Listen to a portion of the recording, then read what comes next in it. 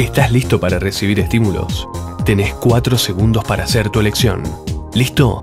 Ya.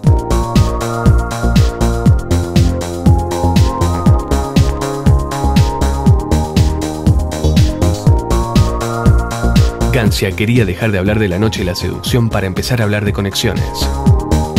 El lugar elegido, las redes sociales, Facebook.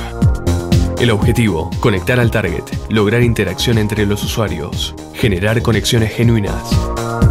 Pero, ¿en qué momento somos realmente espontáneos, auténticos, genuinos? Cuando actuamos por impulso.